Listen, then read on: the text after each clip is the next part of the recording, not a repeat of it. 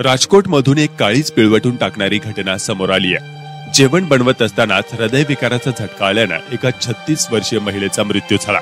दुर्दैवी बाब म्हणजे त्याच दिवशी मृत महिलेचा वाढदिवस होता ज्याची घरात जय्यत तयारी सुरू होती. पण क्षणात ही घटना घडल्यानं कुटुंबावर दुःखाचा डोंगर कोसळला आहे. याबाबत अधिक माहिती अशी की निशिता बेन राठोड असे या मृत महिलेचे नाव आहे. त्या घरात भाकरी बनवत होत्या. अचानक त्यांच्या छातीत दुखू लागला आणि काही सेकंदातच ती अचानक बेशुद्ध पडली. कुटुंबियांनी तत्काळ जवळच्या रुग्णालयात उपचारासाठी नेले जिथे डॉक्टरांनी त्यांना मृत घोषित केला. महिलेच्या पोस्टमॉर्टममध्ये मृत्यू हृदयविकाराच्या झटक्याने झाल्याचं स्पष्ट झालं. एकीकडे घरात वाढदिवसाची तयारी सुरू असताना काळाने त्यांच्यावर घाला घातल्यानं कुटुंबियांना मोठा धक्का बसला. या दुर्दैवी घटनेनं परिसरात मोठी हळहळ व्यक्त केली जातीये. निशिता बेन राठोड यांना दोन मुले आणि एक मुलगी आहे.